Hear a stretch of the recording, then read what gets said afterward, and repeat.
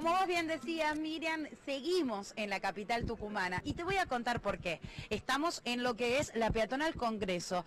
En el día de ayer se inauguró una flota de motos del 107 equipadas para emergencia. La provincia de Tucumán decidió invertir en esta flota de motocicletas con personas que están preparadas para ese tipo de eventos. Por eso es que estamos con el ingeniero Abraham, quien es el director de comunicaciones del 107, que nos va a explicar por el porqué de esta idea de las motos para emergencias.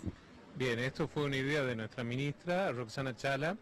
Ella vio, esto en Israel en uno de sus viajes y nos planteó el desafío de generar acá la patrulla de salud urbana, que es el nombre con el que está denominada esta patrulla que salió a la calle ayer.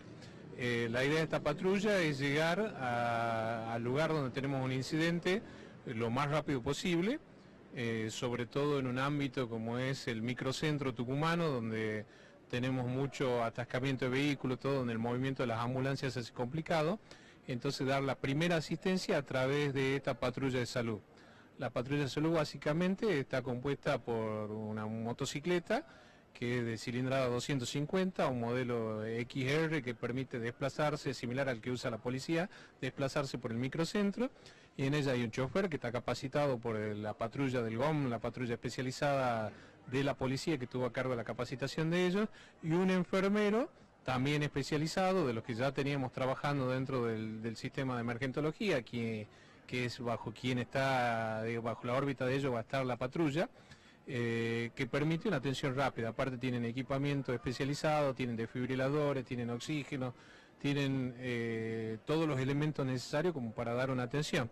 Y ayer un poco en el bautismo de fuego de ellos tuvieron que atender la, la circunstancia de un chiquito con un paro cardiorrespiratorio, un chiquito de dos años, eh, que gracias a la pronta acción de la patrulla de salud eh, se lo pudo revivir hasta que llegó la ambulancia y se lo trasladó al hospital de niños. Gracias a Dios hoy está bien el, el nene. Vamos a hablar con los enfermeros en primera persona que nos cuenten eh, esta experiencia. Muchísimas gracias, ingeniero.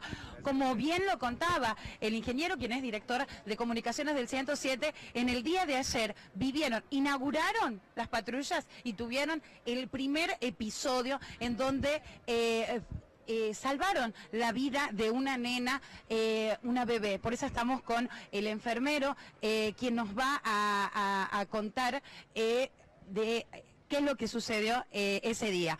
Alberto, ¿cómo estás? Buen día, ¿cómo le va, señorita? ¿Cómo fue la situación de ayer? Inauguraron las, las motocicletas y inmediatamente surgió el primer pedido de ayuda. Sí, estaban transcurri- cu- transcurriendo las horas y estábamos en los, puestos- en los puntos asignados.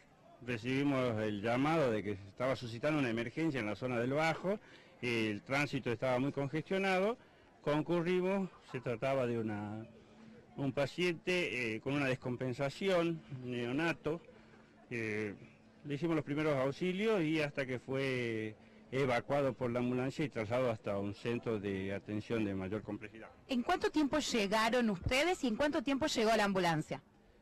Eh, sinceramente digo que aproximadamente mediodía, lo que sí tengo conocimiento es la hora o aproximadamente, los tiempos que yo demoré es un minuto y 30 segundos, eh, donde nos encontramos un pacientito de dos años aproximadamente con una situación de emergencia, de vida, de riesgo de vida o muerte, eh, fue solucionado y evacuado hasta el hospital del niño exitosamente y la paciente se restablece bien.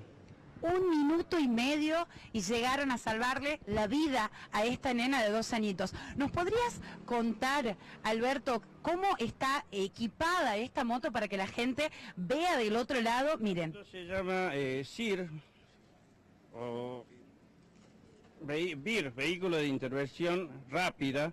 Está con un equipo de inmovilización con férulas inflables, inflador, descartador para materiales de bioseguridad o utilizados, como ser agujas o gasas.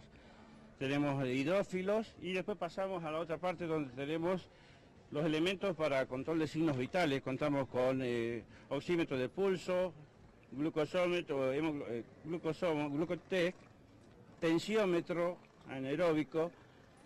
Después volvemos a lo que es elementos de protecciones personal, como sea de bioseguridad, guantes, eh, barbijos, antiparras. completísimo. Y acá hay, después tienen otro que más. Para el DEA o cardiodesfibrilador, para el uso común y entrenamiento para que cualquier persona lo pueda utilizar. Este lo encendemos y nos está diciendo, el aparato nos va a indicar los procedimientos a seguir. Completísima para poder ustedes empezar a, operar en cualquier punto de las cuatro avenidas de la capital. ¿Es así? Es así, señorita, muy bien y muy conforme. Los, equipos están completos y con todo el equipamiento para brindar las atenciones de urgencia o tras- posterior traslado a centros de mayores complejidad. O sea, podemos estabilizar a un paciente o a una persona en el lugar y de- después sugerir el traslado. Como bien decía, ya por último, cortito que nos están, eh, nos está comiendo la tanda allá en el piso, eh, tenemos a quienes eh, manejan y fueron capacitados de una manera especial. ¿Nos podrías contar rápidamente quiénes los capacitaron a los que son pilotos de las motos? Buenas, ¿cómo le va? Este, sí, nos capacitaron del grupo GO eh, con cursos intensivos físicos, mecánicos y lo que viene a ser pilotaje de los vehículos y asimismo una hermandad que nos hicieron este, practicar mucho. en- en- Para poder estar a la altura de las circunstancias. Muchísimas gracias y gracias en el piso por darnos la oportunidad de poder mostrar lo Mira. que está sucediendo Hermoso. en materia de salud bien. acá en Tucumán. Así que todos pueden llamar al 107 y van a ser beneficiarios de eh, esta atención primaria en urgencias. Sistema único en el país. Exactamente, señores, que ¿eh? lo contó acá en esta mesa la doctora Rosana Chala. Gracias, querida Ceci.